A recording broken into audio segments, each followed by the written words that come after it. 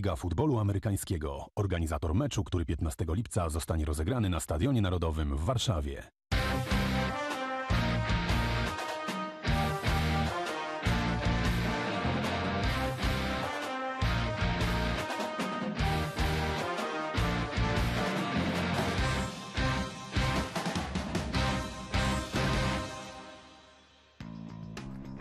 Wszystkie akcje podczas rozgrywek futbolu amerykańskiego są skrzętnie zaplanowane i nie ma w nich przypadku.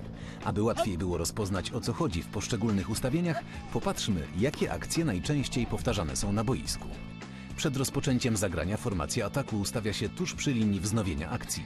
Zanim piłka zostanie wprowadzona do gry, ofensywa musi stać na swoich pozycjach w bezruchu. Formacja obrony może się ustawić i poruszać dowolnie, ale nie może przed wprowadzeniem piłki do gry przekroczyć linii wznowienia, którą domyślnie wyznacza obrys piłki. Każda akcja w ataku rozpoczyna się przekazaniem piłki przez centra do rozgrywającego. Środkowy, czyli center, może piłkę przekazać wprost w ręce rozgrywającego lub odrzucić mu ją, jeśli ustawienie ataku wymusza takie zagranie. Jednym z dwóch podstawowych zagrań w ofensywie jest akcja biegowa, w której rozgrywający oddaje piłkę running backowi, który stara się zdobyć jak najwięcej yardów, korzystając z bloków swoich kolegów.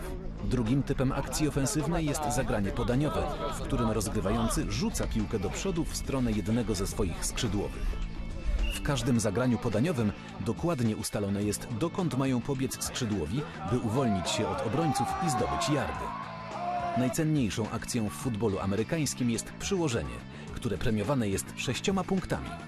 Drużyna zdobywa touchdown, gdy jej zawodnik wniesie piłkę w pole punktowe rywali.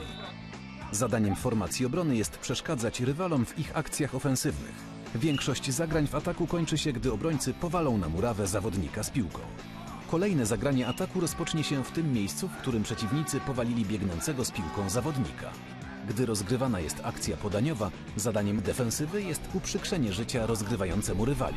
Obrona może odzyskać piłkę, wybijając ją biegnącemu z futbolówką przeciwnikowi. Niezwykle cenną akcją obronną jest przechwycenie podania rozgrywającego rywali. Gdy defensor złapie taką piłkę, stara się wbiec z nią w pole punktowe rywali. Jednak na boisku zawsze nadrzędnym celem jest wykonanie najcenniejszej akcji, czyli przyłożenia. Pam, pam, pam. Raz, dwa, pam, pam, siach. I hop. I Marta ciach i od razu szpagat do środka. Opa. Dobra, jeszcze raz.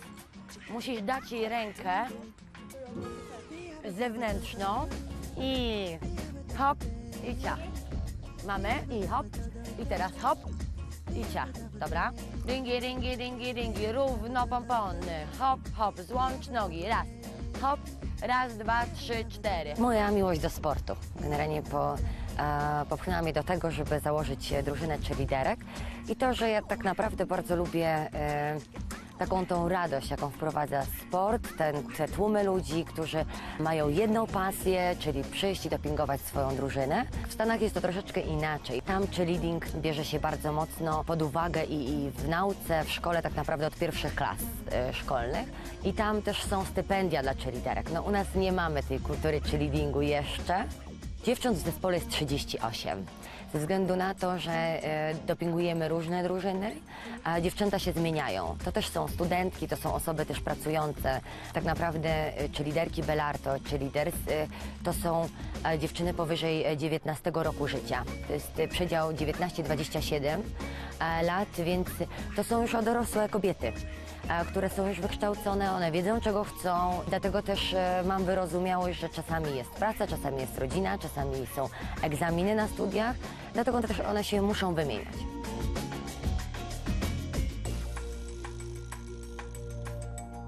Na finale zatańczymy w składzie ponad 30-osobowym. Myślę, że będzie, będzie fajne show, będzie co oglądać.